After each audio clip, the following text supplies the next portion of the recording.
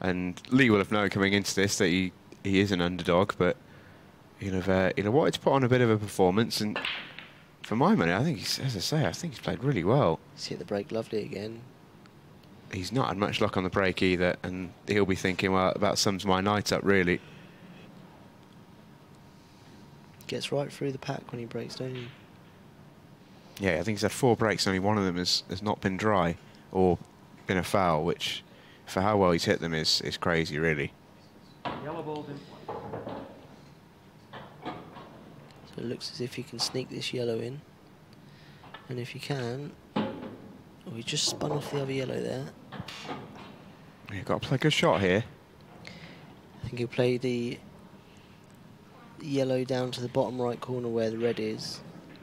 There's half of half a free shot 'cause if if he puts it over the hole, then Lee would have to play a shot later on. But full of confidence now, Rob. He's just floating the balls in like they're over the pockets. Yeah, absolutely.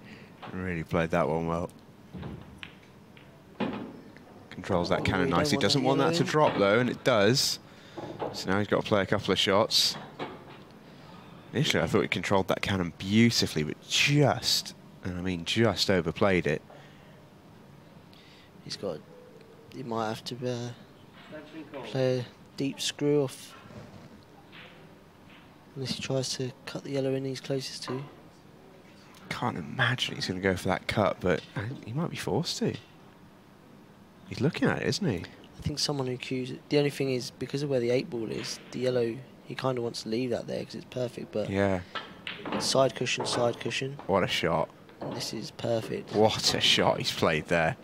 Do you know, he's been slightly unfortunate there. He's landed dead straight. was. For how good a shot he's played there, he deserves at least some angle. So now he might have to. Uh, no, he just took his medicine and left a shot.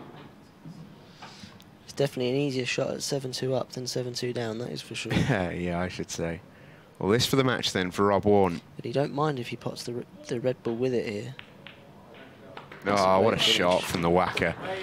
Well, not a vintage performance from Rob Wharne. He wasn't quite perfect, but I tell you what, he's looking in really rude health at the moment. Tremendous performance